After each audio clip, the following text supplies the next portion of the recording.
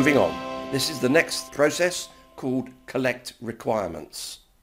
And the purpose here is to understand exactly what is needed to satisfy the stakeholders and capturing this in the requirements documentation. If you think about the fact that everything emanates from the requirements, you can see what a powerful process this is. And it's imperative that this is 100% complete. Get the requirements wrong, you'll get the scope wrong, and you'll get the cost, time and quality wrong. So it all starts here. What inputs do we use? Well, the scope management plan, because this describes how this particular process and the remaining ones are to be managed. And it also helps to clarify the requirements that the team will need to gather. The requirements management plan describes how the requirements will be collected and documented. Remember that the requirements are the main tool used to understand and manage the all-important stakeholder expectations. And as I've already said, schedule, budget, quality, risk and others all feed back to the requirements itself.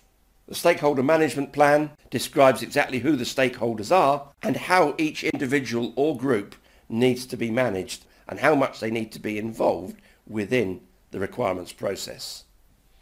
The project charter, because of course it has a high level description of the project end product, and the stakeholder register as this contains a list of all of the stakeholders. And it's these individuals and groups that will help ensure that we accurately capture all the requirements. Making sure, and it's absolutely vital that we involve the correct stakeholders here, because if partway through the project we discover we spoke to the wrong people, then that would be an absolute project disaster.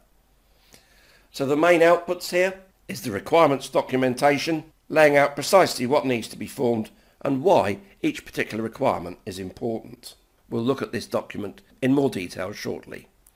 The second output and the final output here is the requirements traceability matrix. And this is used to identify the source of each of the requirements, which could be an individual source or a department or an organisation. If a particular individual, as an example, stated that one of the requirements is there should be a certain response speed on a piece of equipment, then it's important to know who it was that gave that information. Okay, the tools used in collect requirements, there are quite a few here. Let me show them all to you because I shall be describing these in a separate slide simply because there are so many of them. Just be aware here they all are and we'll go into that in a moment.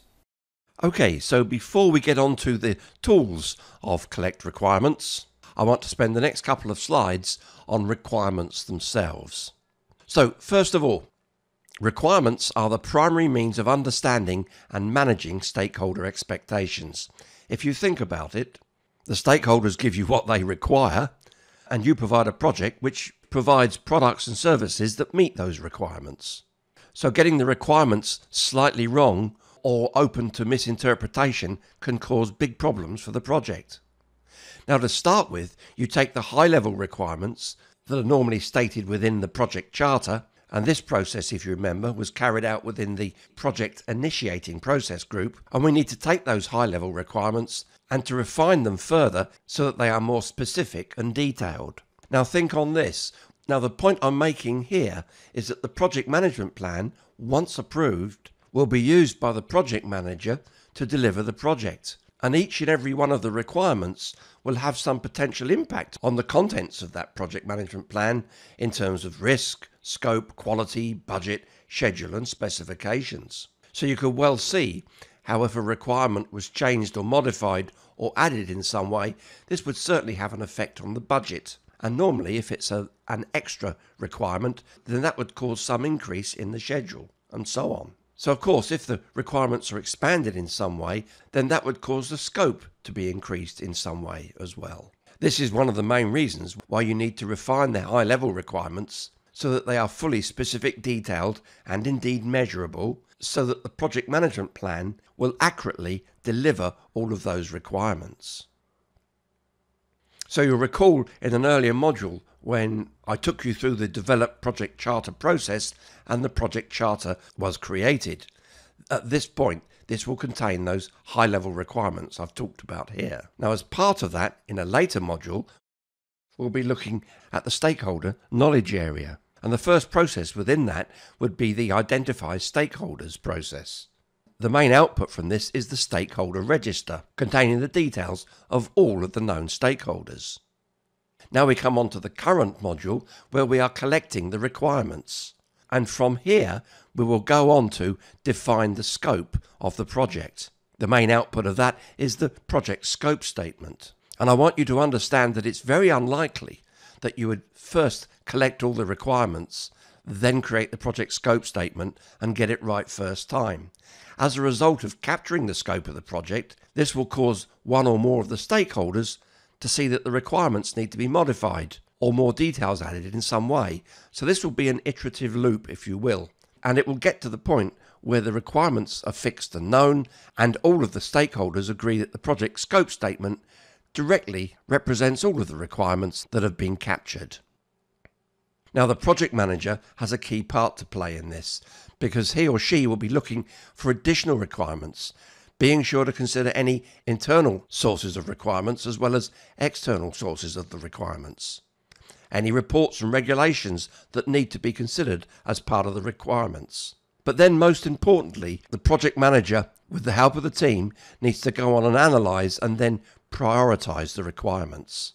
And here I've made a pointer to one of the main techniques used called MoSCoW. It stands for must have, should have, could have, and won't have for now. And this is another reason, of course, why collecting requirements and creating the project scope statement will be an iterative process. To start with, you may find your client saying to you, Well, I've given you my requirements, they're all must haves. Otherwise, I wouldn't have given them to you. And that's often the way it is at a high level. But as you break them down into more and more detail, you'll find that you can, in fact, prioritize them. And this is important. And as a result of that, it may be decided that some of those will be looked at later, possibly in a future project.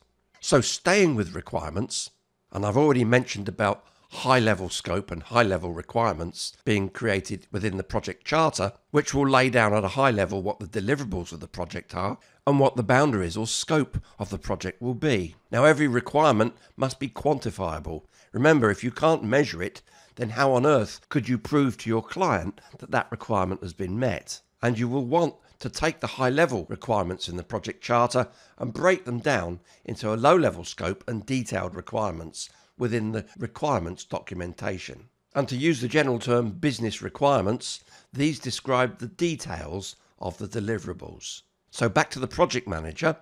The project manager needs to identify key deliverables based on the business requirements, that's these, in order to manage customer expectations and direct the achievement of the project goals. A good way of approaching exactly what requirements are is to ask a variety of questions, and we'll look at some of the tools you could use in a moment by asking, What do you need? What do you want? What conditions have to be met for you to be satisfied? The project manager's skills here, and this is important to remember, would be negotiating skills, active listening skills, brainstorming skills, or techniques, if you will, and facilitating. Now, when it comes to requirements, there's broadly two types, if you will. There's product requirements, which describe features, and these describe the characteristics of the deliverables that the project will create. The other type is process requirements, which are about functions, and these describe how people will interact with the product and how a product interacts with other products, either within the scope of the project or other products that already exist, for example, in the operational area.